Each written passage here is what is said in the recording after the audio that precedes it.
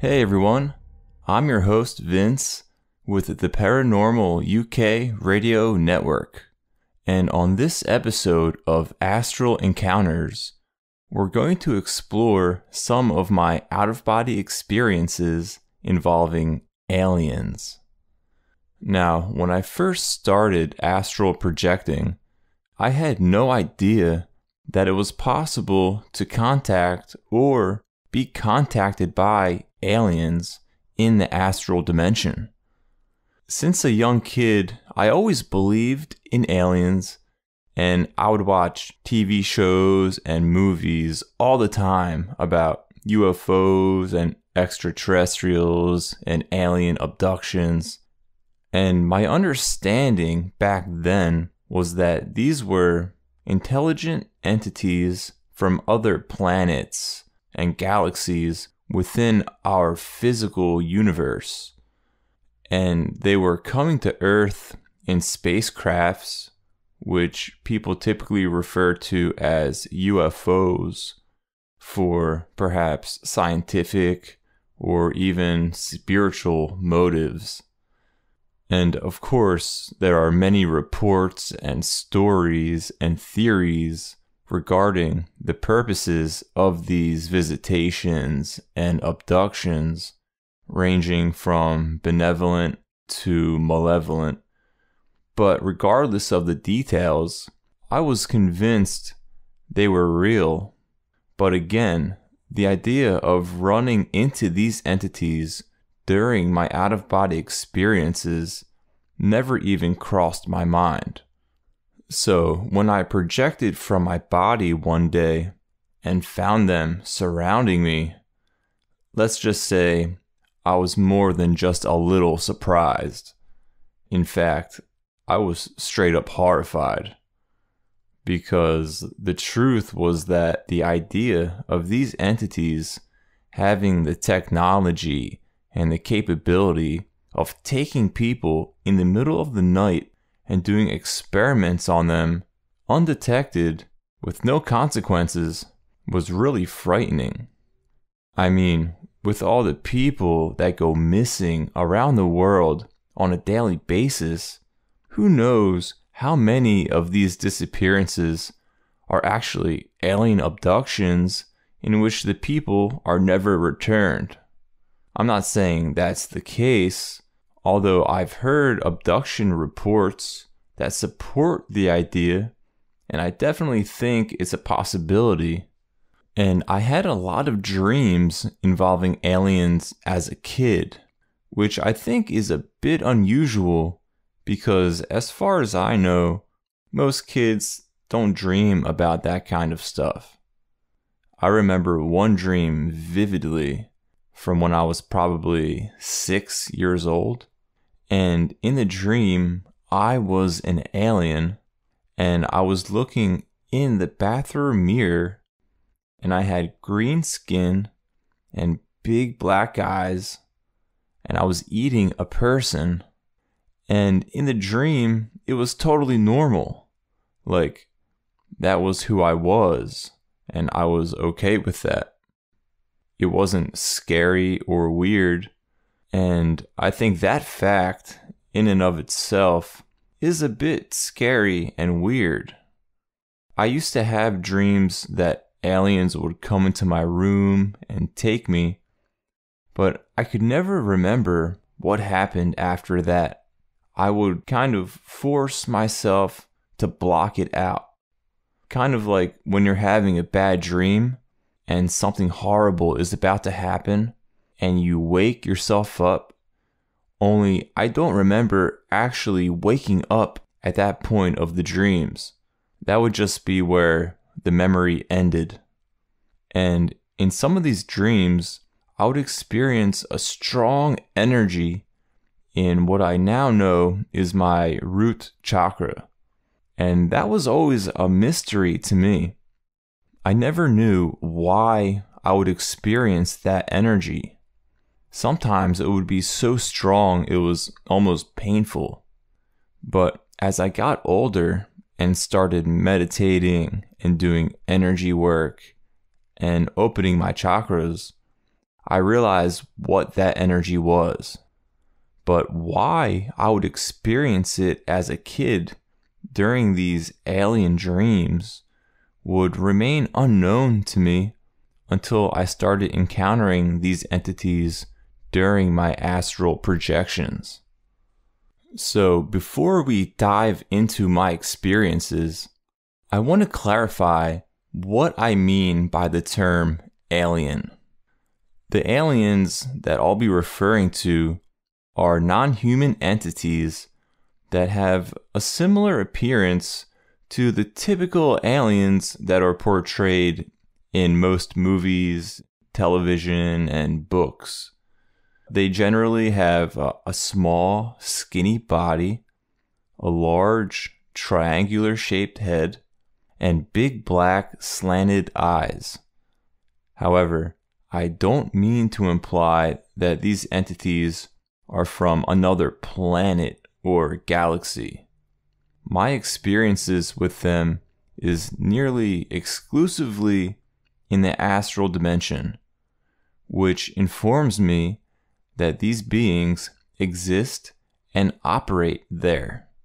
Whether they have bodies in our physical dimension and project their consciousness into these higher dimensions, similar to humans doing astral projection, or if their base level of reality is the astral dimension and they're able to shift into the physical dimension, that's another story for another episode.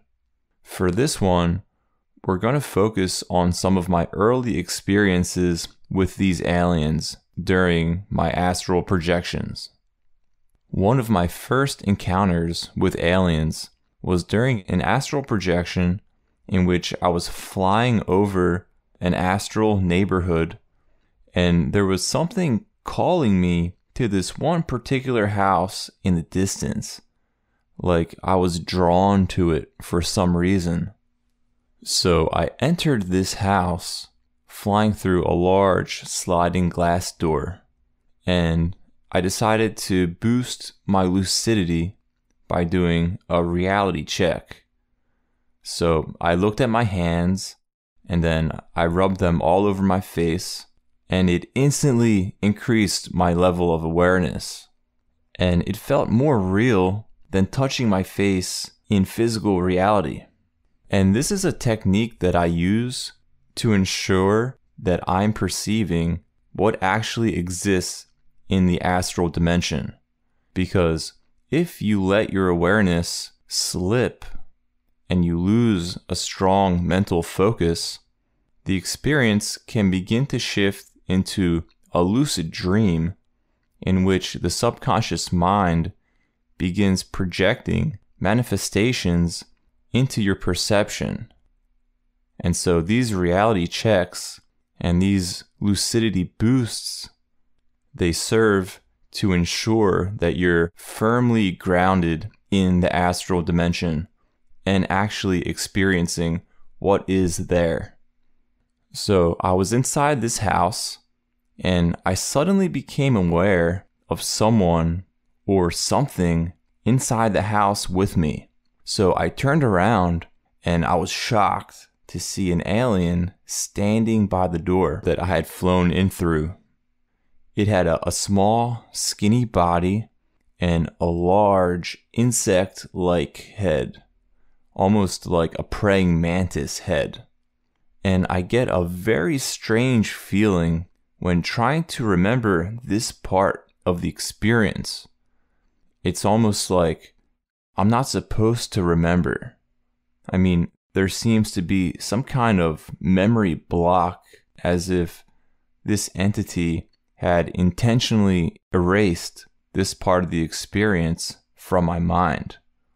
I knew something happened in the house with this entity, but I don't know what.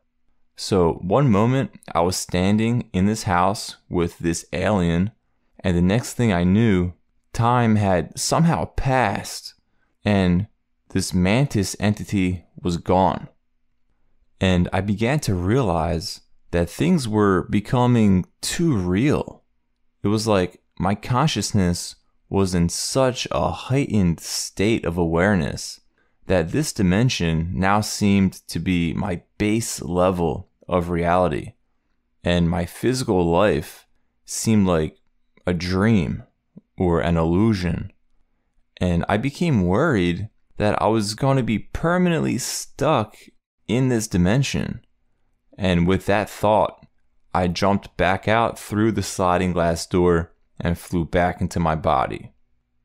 So, I haven't had many encounters with these particular mantis type aliens. The majority of my experiences involve aliens that are very similar to the typical gray aliens. Really, the only difference is that their skin is a light orange color rather than gray. So, my first experience with these beings happened several years into my astral projection practice. So, one morning I decided to leave my body, and I was soon overcome with paralysis, which is a sign that you're entering the mind awake, body asleep state, which happens just before the projection. And suddenly, the presence of several beings came into my perception, and they were really close to me. And suddenly, this really disturbing drone sound just engulfed me. It was like I was hit with this energy that felt artificial and had a metallic quality to it. And it was different from the normal energetic sensations that take place at the onset of an out of body experience. It seemed as if this distressing energy was coming directly from these entities, which at that point I was still unable to see, but I could feel their presence and I sensed them. And so this eerie tone coming from this energy rang through my body and my mind, and it chilled me to my core. It was really disturbing, like straight out of a horror movie. So at that moment, the room around me came into focus, and the first thing I saw was an alien standing to my right side, looking directly at me. It was short and skinny. It had a, a large triangular head with large black slanted eyes, and it had light orange skin. And looking into those big black eyes invoked an intense wave of fear to wash over me, and my heart plummeted inside my chest, and I panicked and forced myself back to physical reality. So, after this experience, these encounters became more and more frequent. I would shift from my body, and these aliens would be standing around me. Sometimes they would be bent over, closely inspecting me.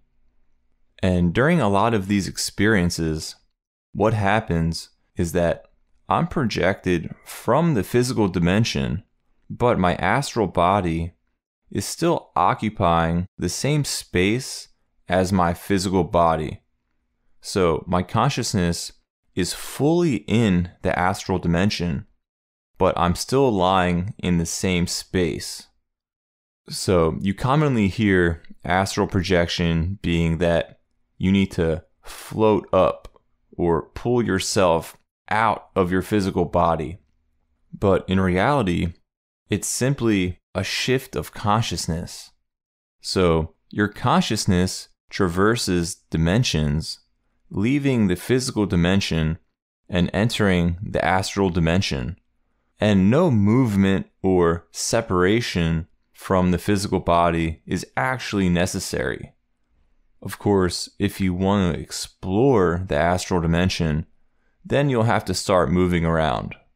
But anyway, during another one of my early experiences with these aliens, I shifted into the astral dimension and I was horrified because an alien was bent over me with its face less than a foot away from mine, and it was staring right at me. And it felt like it was looking into me, like looking into my soul. And its head was twitching and jerking from side to side, like some kind of robot with a glitch. And this was really disturbing, but also an interesting aspect of these entities. They seem to possess a type of mechanical quality. Their movements never seem completely organic or natural. They tend to be unnaturally stiff and jerky.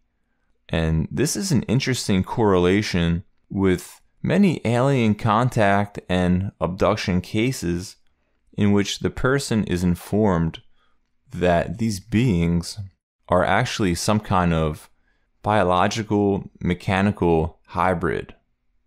So, anyway, my early encounters with these aliens usually always started the same. I'd leave my body, and they would be standing around me, waiting for me to enter the astral dimension. And in the beginning, I would panic and quickly re enter my body. One time, I shifted into the astral dimension without quote unquote separating from my physical body. So I was still lying there, but I was now perceiving into the astral dimension, and I was now occupying my astral body. And I was looking up at an alien standing over my body, and it was actually standing on my bed. And it bent over and reached into my mouth and reached its hand and lower arm all the way down my throat. I mean, I could feel its fingers moving around inside of my chest. And of course, it was reaching inside of my astral body, not my physical body. But I was extremely disturbed and snapped back into my body.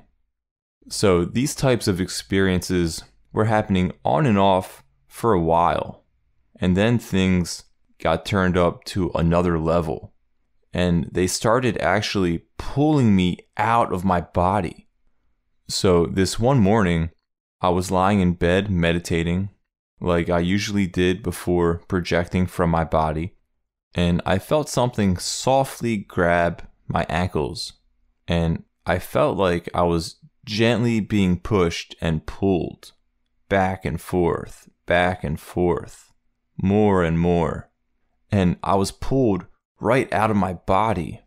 And suddenly I feel a strong feeling of movement, like I'm being pulled at a high speed. And I start to see my surroundings, and it looks like I'm being dragged through this long metallic corridor. And I can't see who is pulling me, but I can still feel their hands on my ankles and the pressure at my ankles got stronger and stronger, and it soon started to hurt. And at that moment, I realized that I shouldn't be feeling pain, and that was a big red flag. You know, if whoever was taking me was friendly or benevolent, they wouldn't be causing me pain. And I immediately got the feeling that whoever was taking me didn't have good intentions. And I willed myself back into my body and ended that experience. But this would happen again and again, just getting pulled out of my body, sometimes without even having the intention of astral projecting. And there's an interesting correlation here with the out of body experiences and the aliens. I remember reading in one of Whitley Strieber's books, in which he discusses his alien abductions, that he was actually taken out of his body by these aliens, and they essentially taught him how to astral project. So, after reading that and seeing the similarity with my experiences out of my body with these aliens, it added another layer of confirmation of my own experiences. So, in my future experiences in which I was pulled out of my body, I was able to see that these were the same aliens that had been visiting me in the astral dimension. And when I stopped fighting off these experiences and allowed them to progress, that's when things got really interesting. And we'll dive deeper into those experiences in the next episode. So I'm going to wrap it up here. In the next episode, we'll explore how my experiences with aliens evolved over time, some of the different types of aliens I've encountered and communicated with over the years, and what I learned about them and my relationship with them. A relationship that I had been completely unaware of, and one that provided insight into other aspects of my own self, which exist in other dimensions of reality. So, thank you so much for listening. Be sure to check out my book on Amazon.com Astral Projection and Lucid Dreaming spiritual revelations and out of body experiences in higher dimensions. And also check out the other podcasts on the Paranormal UK Radio Network. Talk to you next time.